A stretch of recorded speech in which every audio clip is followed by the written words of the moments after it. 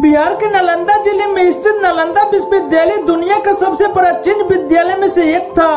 लेकिन साल ग्यारह सौ निन्यानवे में एक ऐसी घटना हुआ, जब बिहार के शासक बख्तियार खिलजी ने नालंदा विश्वविद्यालय को आग के हवाले कर दिए।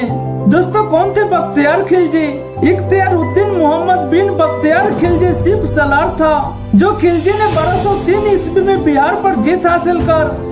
दिल्ली में अपने राजनीतिक पद को ऊँचा किया और इसके अगले ही साल खिलजी ने बंगाल पर विजय हासिल कर भारतीय उपनिषद के साथ इस पर इस्लाम को स्थापित करने में अहम भूमिका निभाई।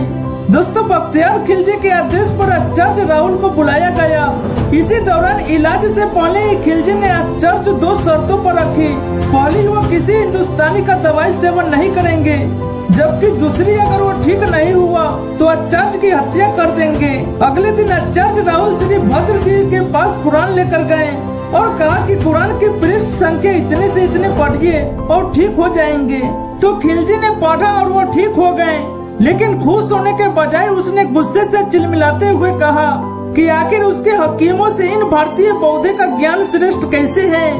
बौद्ध धर्म और आयुर्वेद का एहसास मानने के बदले उसने नालंदा विश्वविद्यालय के आग के हवाले कर दिए।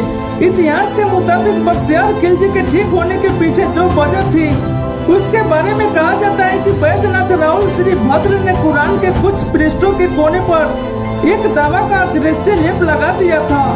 इसी दौरान खिलजी ने जब थूक लगाकर पेट पलटना शुरू किए तो लेप उसकी जीभ के सारे पेट में चल गया और वह कुछ ही दिनों में ठीक हो गए। दोस्तों, कहा जाता है कि इसके ठीक बाद बख्तियार खिलजी ने नालंदा विश्वविद्यालय को आग के हवाले करने का आदेश दिए। इसी दौरान विश्वविद्यालय में इतनी पुस्तकें थी कि वो तीन महीने तक जलती रही। इस दुखद घटना में हज़ारों धर्मचार व बौद्ध भिक्षुक मरे गए। सिर्फ़ इतना ही नहीं, इसके बाद इस सन की शासक ने पूरे नालंदा को आग के हवाले करने का आदेश दिए।